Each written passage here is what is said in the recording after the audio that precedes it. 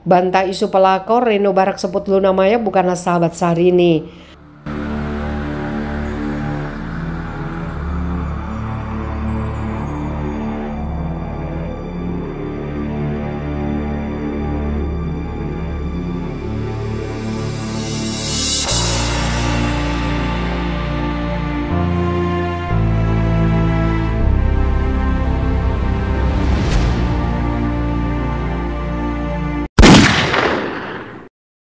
Dapur berita artis terkini.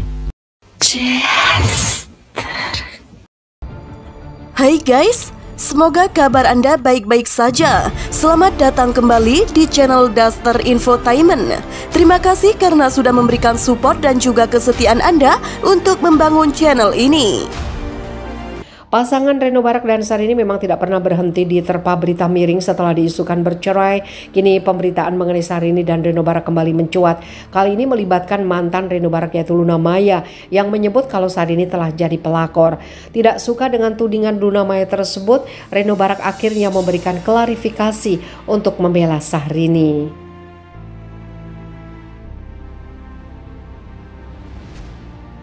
Reno Barak menganggap jika Luna Maya adalah wanita yang naif karena tidak mengakui berbagai sindirannya terhadap Sarini di media sosial.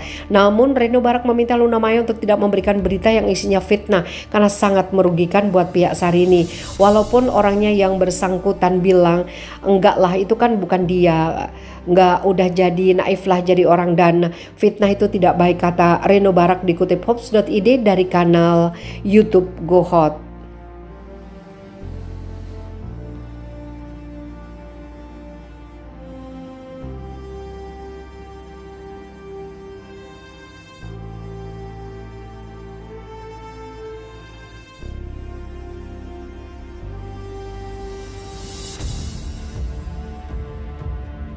Dia menyinggung soal postingan Luna Maya di sosial media yang menyebutkan adanya teman makan teman dan hal itu membuat Sarini jadi diserang netizen.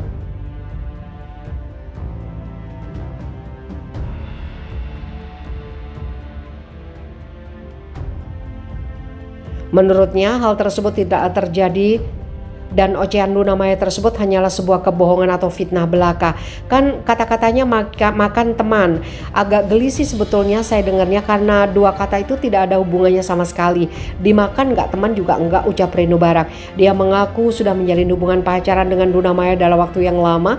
Selama itu dia terus berjuang untuk memberikan yang terbaik. Selama menjalin hubungan dia tidak pernah melihat atau mendengar jika Luna Maya memiliki kedekatan atau berteman dengan Sarini. Menurutnya jika memang kedua keduanya adalah sahabat tentu akan sering melakukan komunikasi atau sering bertemu.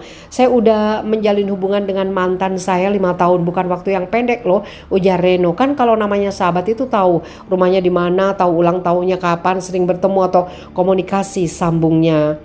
Luna Maya tidak pernah terlihat berkomunikasi atau bertemu dengan Sarini untuk nongkrong atau apa pun.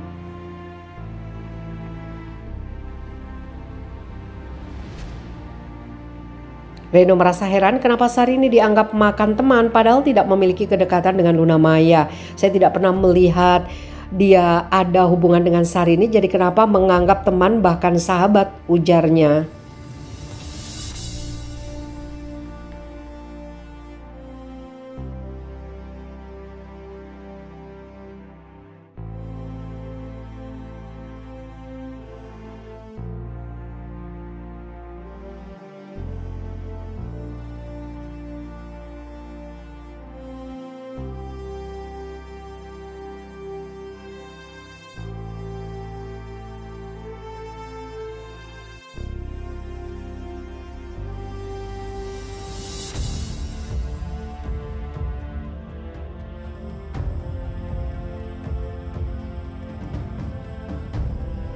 Akhirnya terbongkar kisah lama Luna Maya labrak Sarini begini kronologinya.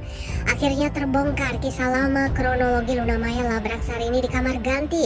Luna Maya ternyata tidak terima mantan kekasihnya Reno Barak direbut teman sendiri, Sarini. Demi menunjukkan rasa kecewanya, Luna Maya mendatangi langsung Sarini di ruang ganti di sebuah stasiun televisi. Merasakan hubungan yang kandas, kemudian melihat mantan menikah dengan sahabat sendiri adalah kenyataan pahit yang harus dijalani Luna Maya.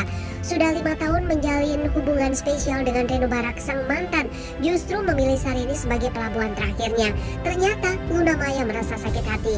Bahkan ia nekat menemui langsung Sarini untuk menanyakan hubungannya dengan Reno Barak. Namun setelah menerima kenyataan kini artis yang jadi penggemar berat BTS bersyukur telah melepaskan Reno Barak dari hidupnya.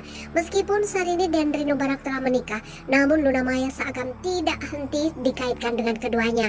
Apalagi keputusan menikah dengan Reno dengan Sarini cukup cepat.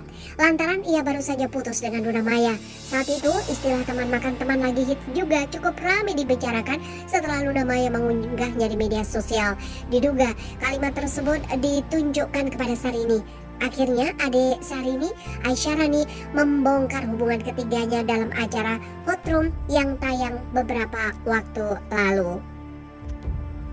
Lantaran ia baru saja putus dengan Luna Maya Saat itu istilah teman makan teman lagi hit. Juga cukup ramai dibicarakan setelah Luna Maya mengunggahnya di media sosial. Diduga kalimat tersebut ditunjukkannya kepada Sarini. Akhirnya adik Sarini Aisyah Rani membongkar hubungan ketiganya dalam acara Hot Room yang tayang beberapa waktu lalu. Aisyah Rani mengatakan Luna Maya pernah mendatangi kakaknya. Luna Maya menanyakan kedekatan Sarini dan Reno Barak. Tanggal 10 Oktober saya itu sama mantannya Reno sama Luna satu acara bang. Di stasiun tetangga ulang tahun. Dia Sari ini mau isi acara. Dia WhatsApp saya kalian di mana? Saya ke ruang kalian ya. Oh oke okay dong. Nggak ada masalah karena siapa pun bisa ke ruangan kita. Terang Aisyah Rani. Ada tim saya. Tim saya disuruh keluar. Dia bilang dia mau ngobrol sama saya sama Sarini dia langsung directly bicara kamu sama Reno ya?